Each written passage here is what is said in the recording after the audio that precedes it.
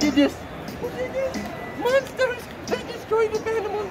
Poor animals. Look at them. They're selling animal meat. Who are these people? Oh goodness. Someone's got to save the animals. Save them.